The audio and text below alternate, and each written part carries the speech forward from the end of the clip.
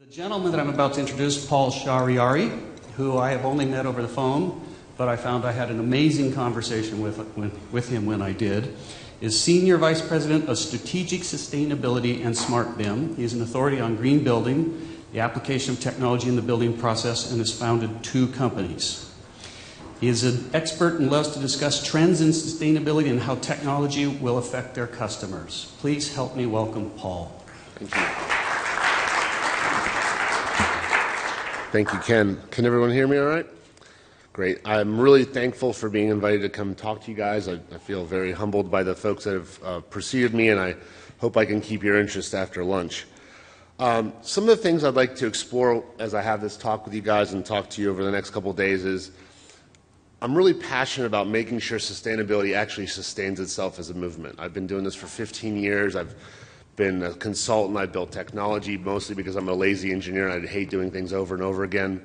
Uh, but I really worry that we have made it really, really hard for other people to kind of come into our choir. We've made it complex. We've made a lot of, I think, some, some tactical errors along the way. And I hope that we do this right because I have two daughters now. When I started this, I, didn't, I wasn't even married, but I have a 10 year old and a 12 year old. And I hope that we can at least sustain this until their generation comes on board because I think their collaborative nature is going to be really, really good.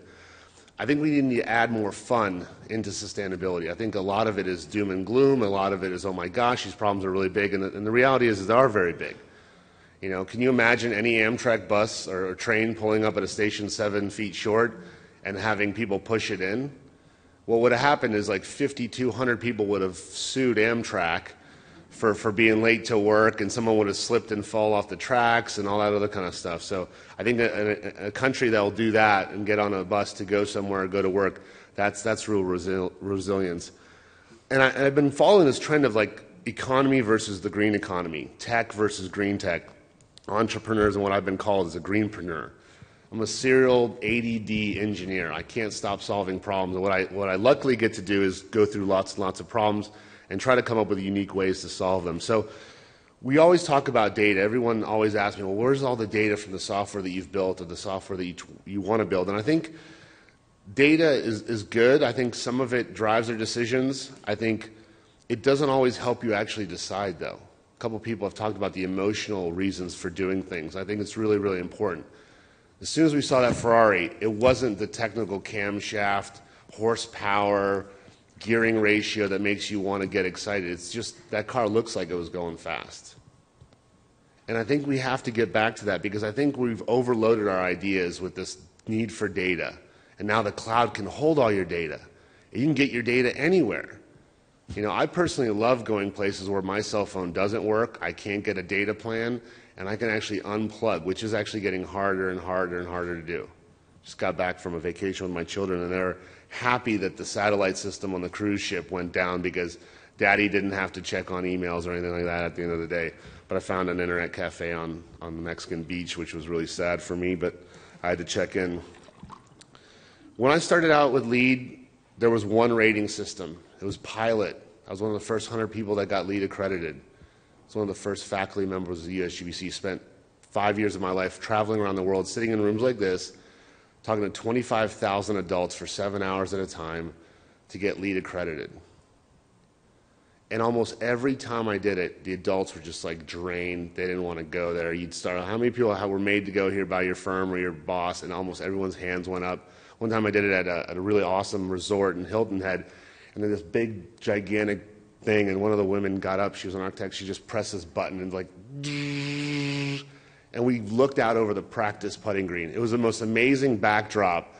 And I was like, you know what? There's 600 of you in here. I hope you guys get something out of what's behind me. Hopefully, the screen is important, but what's behind you is even more important. This complexity has created green fatigue. 500 so green eco labels, rating systems, product data coming out.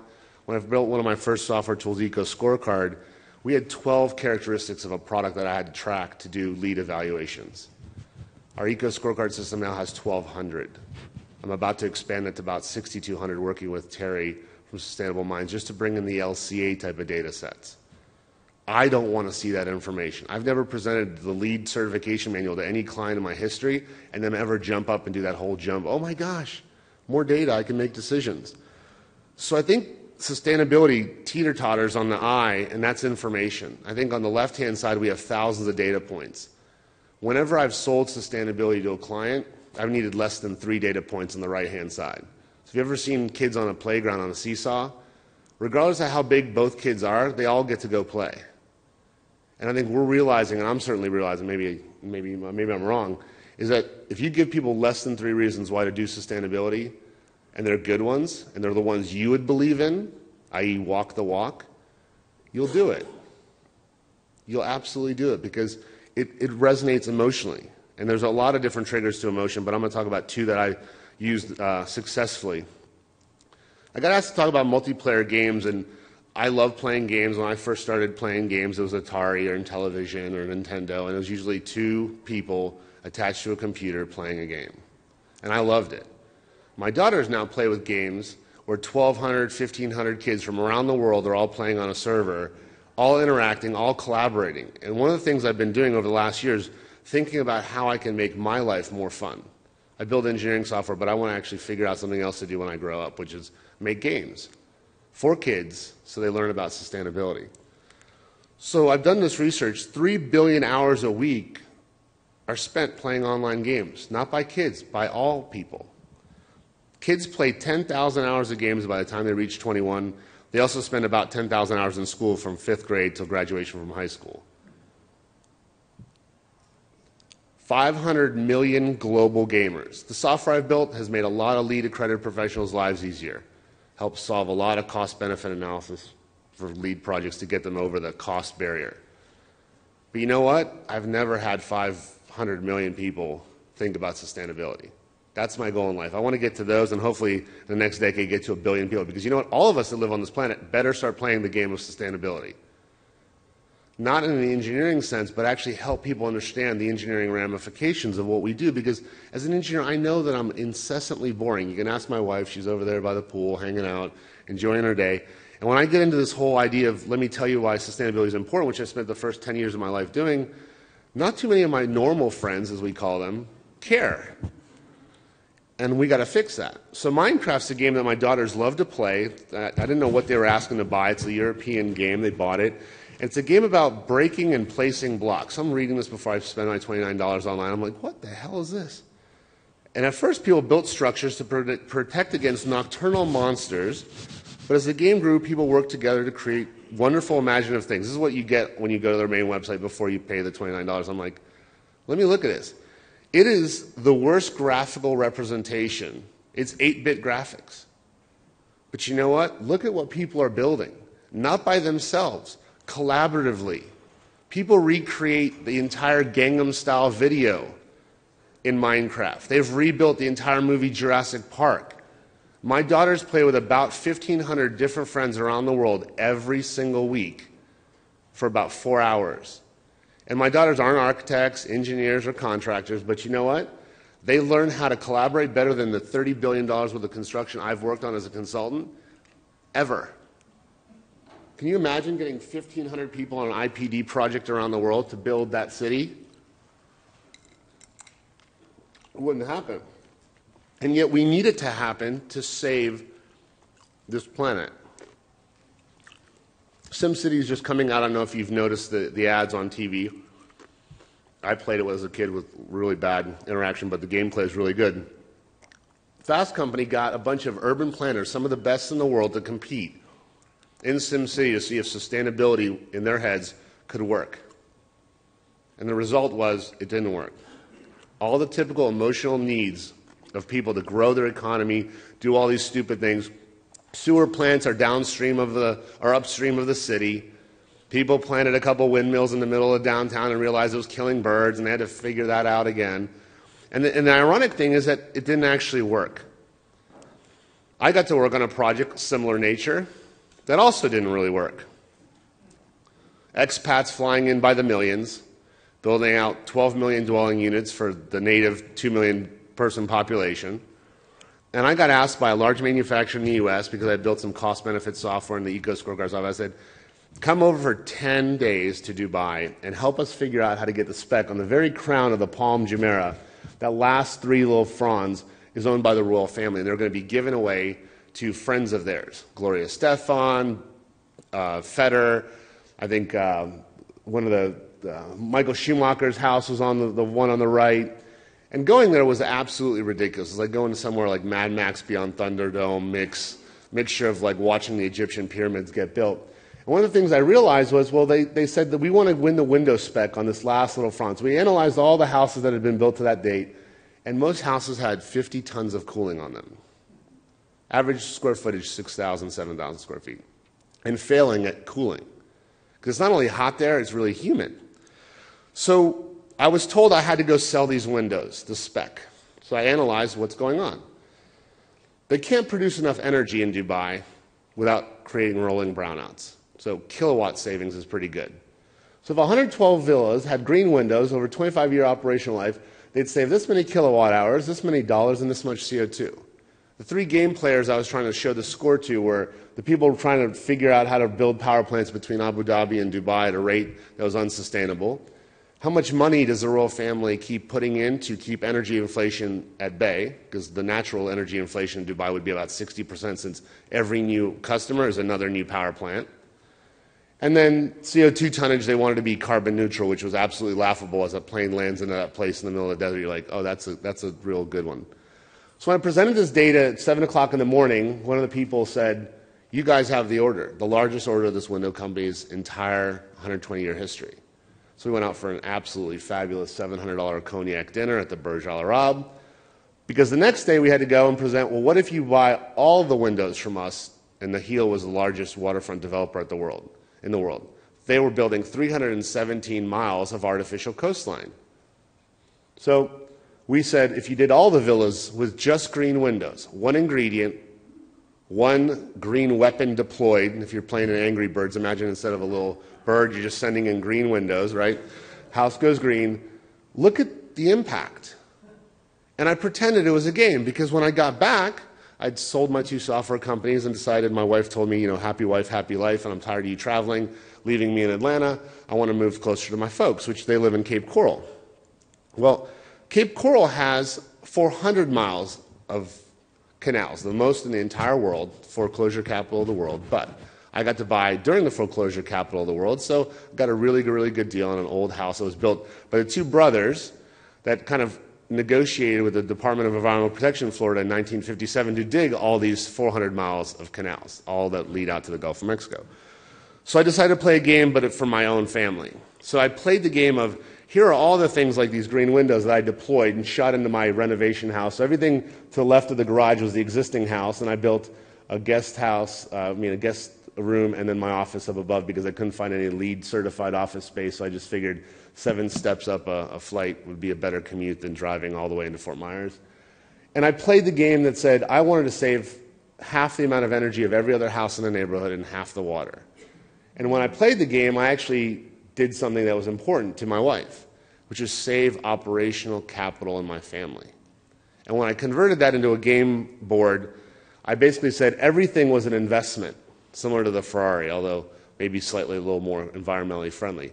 But better than the Ferrari, I don't think the Ferrari could actually appreciate as fast as I bet that energy and water would appreciate in my house.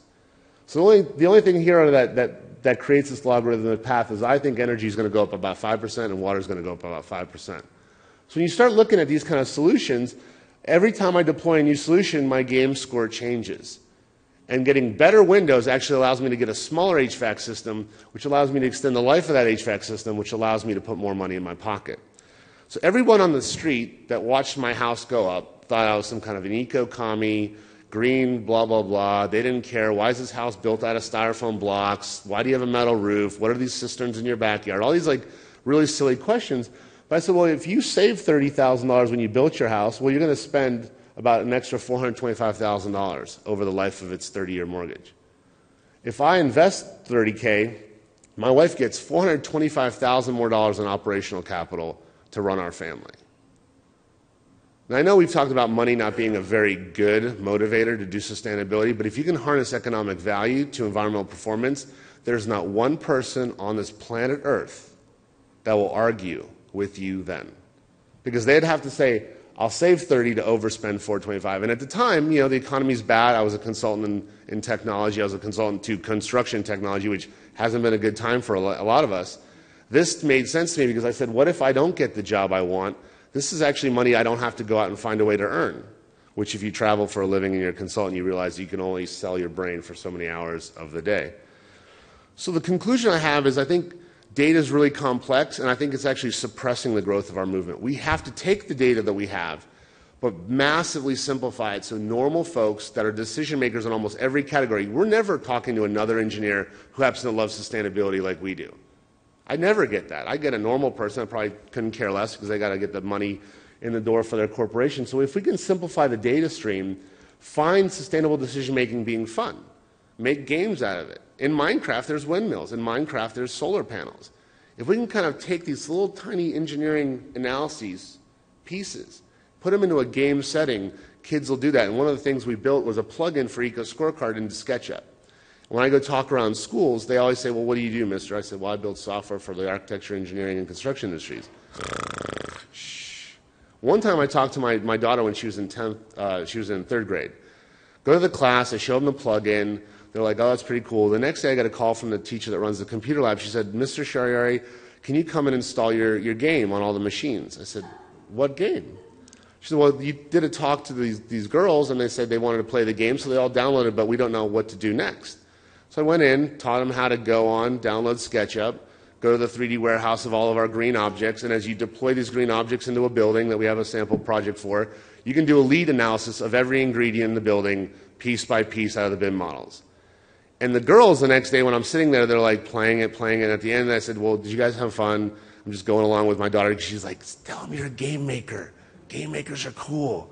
You know, my dad's cool.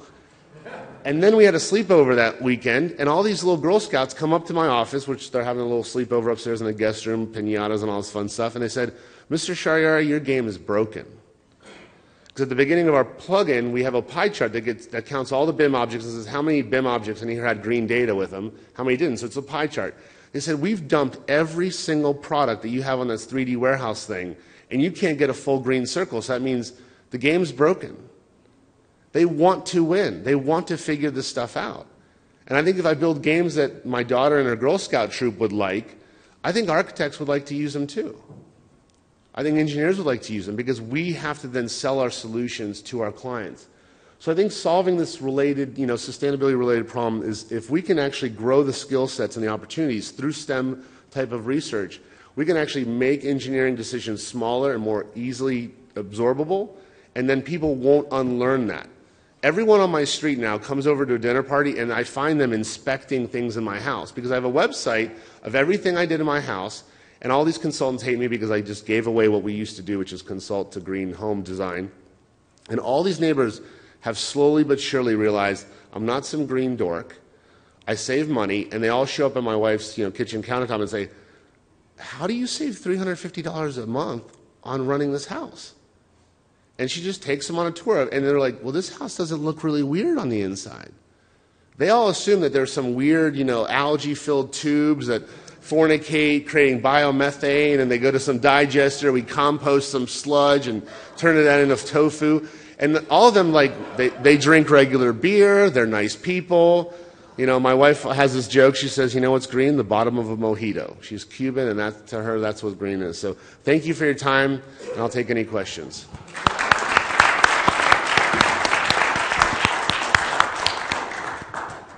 Surely there are some questions for Paul. Yeah. Where did that come from? I'm curious, uh, you, you mentioned uh, 1,500 people collaborating. Do you know what the largest online game is? You know, how many, how many people can you actually get to share a, uh, maybe it's Facebook, I'm not sure, but share uh, there it's individual. World of Warcraft is the largest multiplayer online game, and there's more put on the World of Warcraft wiki than that is on all of Wikipedia.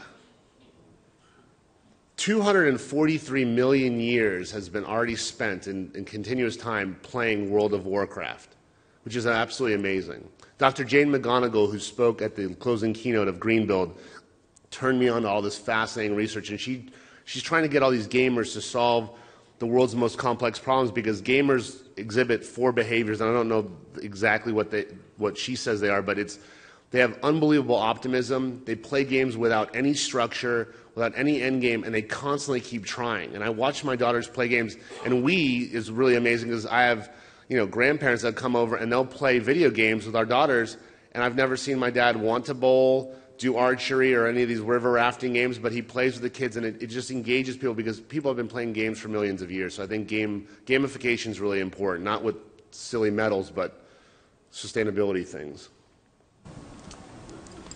I'm curious about your comments on SimCity. It sounds like the conclusion is that it, because it was mature, sophisticated urban designers, that they weren't able to design a sustainable city. Are you aware of any kids that have been doing any efforts like that? SimCity 6 just came out, so I don't think Fast Company's been tracking how normal kids, but my daughters have already put that on their birthday wish list, so I'm going to get them that and see how that differs because there's a lot of the problem with SimCity and a lot of these games is there's algorithms that say if you do this and you cut resources, you grow your population, then you can economically serve those populations by selling them more stuff to make more things. So a lot of people have talked about this this massive consumption methodology that supposedly is going to get us out of this problem. So when I sat on a panel with some folks from Dwell, they said, you know, what do you think? And I said, well, you know, I, I love your magazine, but I think we're not going to buy our way through sustainability by just buying more sustainable bamboo T-shirts like if you can hold on to the T-shirt from ACDC concert in 1984, just hold on to that shirt a little longer. You don't need to buy the bamboo vintage version of that that'll probably destroy itself in the wash.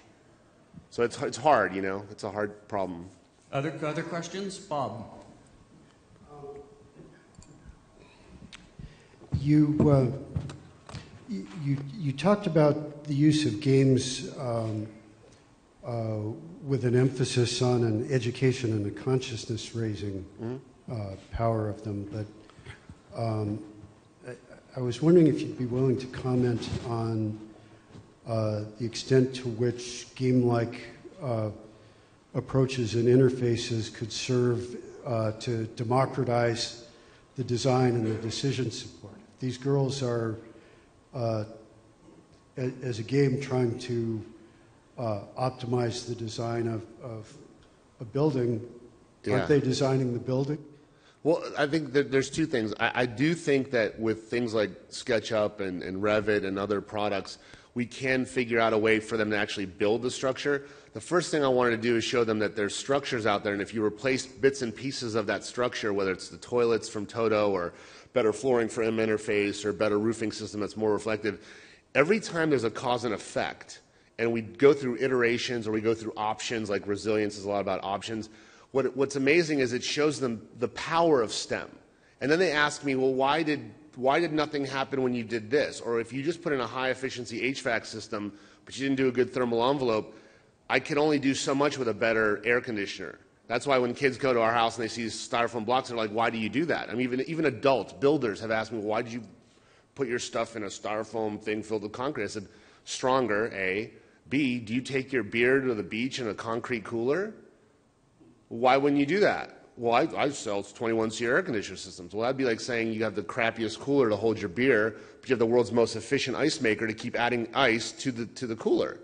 And when you actually give it to them in that kind of cause and effect, but keep it light to where you're not talking down to them because you're the sustainability dark and you know they don't know, they start to get the whole I get it. And I think with kids, what's amazing is they don't have any of the bad constructs we all have as engineers or people that have gone through a formal education that just forces you in this this is the linear equation. I think one of my goals in the next, you know, before I turn 40 next February is I want to deploy a game so that every kid in America can actually fix everything that's wrong with their existing school using existing technology without needing a LEED consultant, LEED for homes, LEED for schools, or any other people. And they can go to the PTA and just say, if we do these 12 things, we'll save this much money and that'll pay for every kid's educational iPad. Like, that would be my dream in life to, to, to, embed STEM as a game. And then if they get interested, you, you help them become the next game builders that have better algorithms, more predictive analysis, and they can collaborate because the Girl Scouts actually all got around one computer, which was weird. My daughter was driving, and they were all talking about decisions. SketchUp doesn't work where all the kids could log in at once. That would be another cool thing is like they could all play on one platform, which I love about Minecraft. They all play on one, one game board. That's pretty cool. Thank you.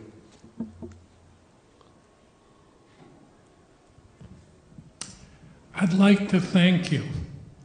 About 15 years ago, I was president of uh, Computer Graphics Pioneers, and I wrote an editorial that basically said, Was our legacy going to be violent games or a tool for education?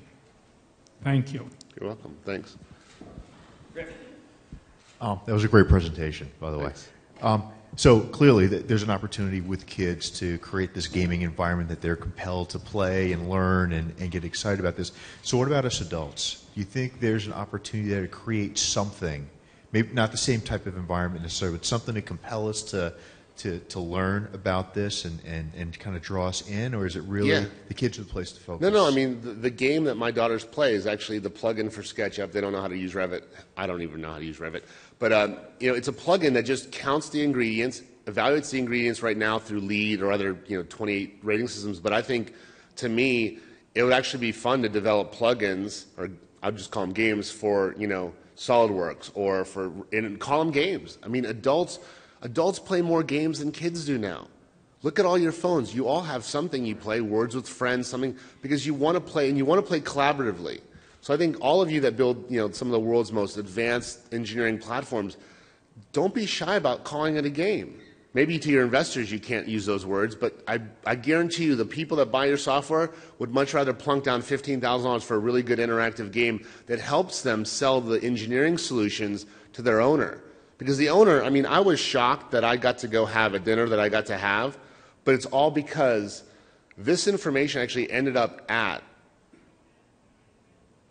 the person that ran Dubai because he was building literally another whole country on the waterfront. And without doing this, plus 35 other things to make all those houses and dwelling units better, he was actually going to run out of space to build power plants. Not the capital to build them, he was going to run out of space because all the smelting of aluminum for all those skyscrapers, all the desalination plants, that no man's land between Abu Dhabi and Dubai is literally the most horrific scene you've ever seen it was going to run out of room. So it wasn't the capital resource; they were physically run out of the finite, non-renewable resources. So this is a game, and you know, if you want to change your output, it's just like you know the heads-up display on all these fighter jets. Every pilot gets his own customized helmet, so he sees what he needs to see.